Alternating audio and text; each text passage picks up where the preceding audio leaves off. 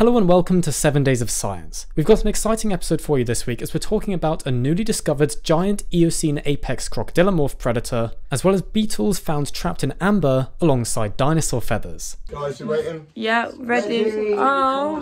No.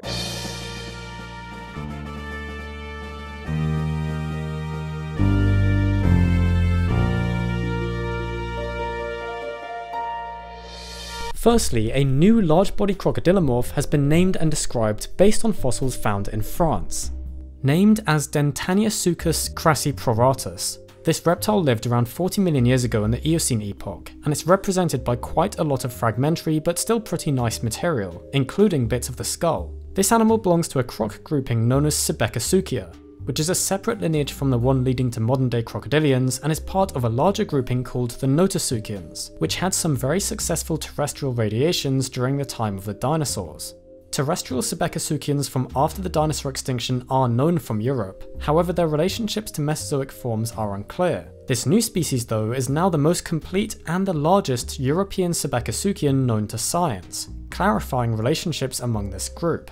Dentaneosuchus was almost certainly an apex predator of its time and ecosystem, reaching 3 to 4 meters in length, showing that these terrestrial crocodylomorphs were able to become large formidable predators during the Eocene. Also in the news is the absolutely fantastic discovery of prehistoric beetle larvae found trapped in amber alongside dinosaur feathers.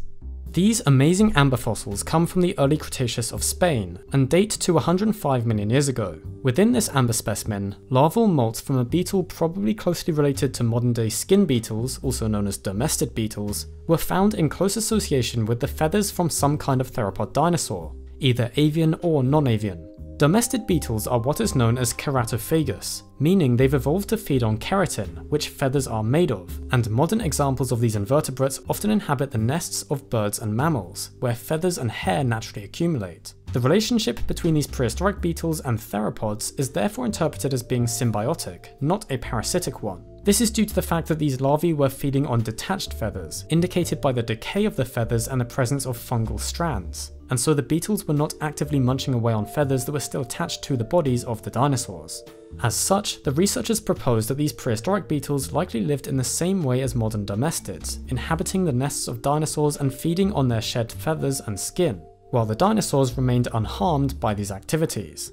It's an absolutely incredible find, showing how complex these prehistoric worlds were, and in some ways quite similar to our modern one.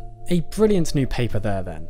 Anyway, that's going to be it from us this week. Apologies for the fairly short episode, both Doug and myself are in the last stages of working on our final year dissertations, so we've been very busy recently, and I'm going to be quite busy in the next couple months or so still, uh, working on a lot of university things.